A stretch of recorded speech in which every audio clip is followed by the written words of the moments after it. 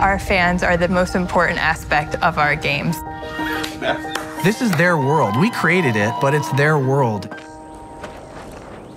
It is pretty amazing to have a community that's been around for this long.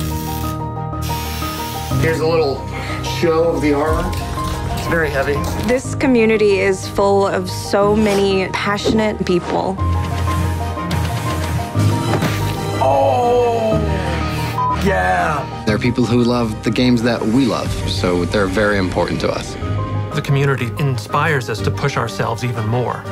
They're not just players, they kind of become your friends and they become a part of your life.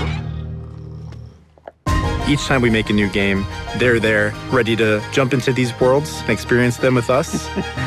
they're a family in a way, and this becomes the Bethesda family, oh and I'm just proud to be a part of it. Oh my god!